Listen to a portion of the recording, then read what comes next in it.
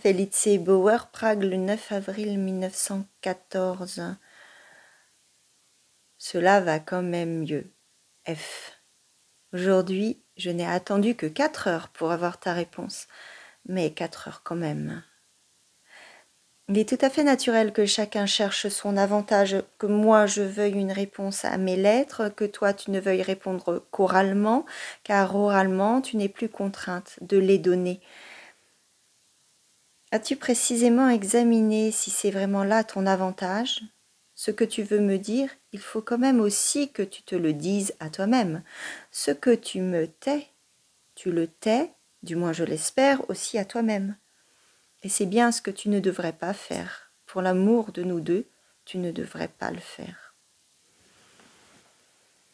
Ne me dis pas que je suis trop sévère avec toi. Ce que j'ai d'amour en moi ne sert qu'à toi. Mais vois-tu, il y a plus d'un an et demi que nous courons l'un vers l'autre, et dès le premier mois nous avions quand même l'air d'être si près l'un contre l'autre, un corps perdu. Et maintenant, après longtemps, après une si longue course, nous sommes toujours si loin l'un de l'autre. Tu as l'obligation absolue, F, dans la mesure où cela t'est possible, d'être clair envers toi-même. Nous n'allons quand même pas nous mettre en pièces quand nous serons enfin ensemble. Ce serait quand même dommage pour nous. Je parle là autrement que l'autre fois au Tiergarten.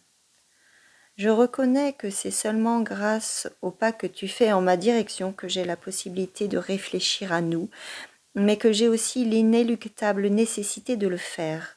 Je n'ai pas besoin de le reconnaître, c'est bien assez manifeste.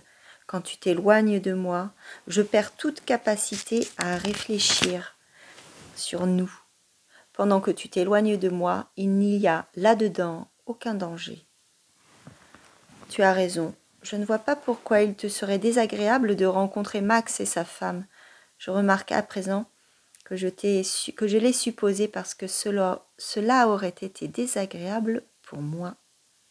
Du reste, ce danger n'existe plus. Je me suis trompée, c'est seulement Max qui devait venir et maintenant il ne vient plus, m'a-t-on dit aujourd'hui. Il ne reste plus que Pic. Il est préférable que tu viennes à sept heures et demie à l'Askanischer Hof, mais sois ponctuel, je t'en prie. Non, mademoiselle Bloch ne vient pas. Je l'aime bien. Franz.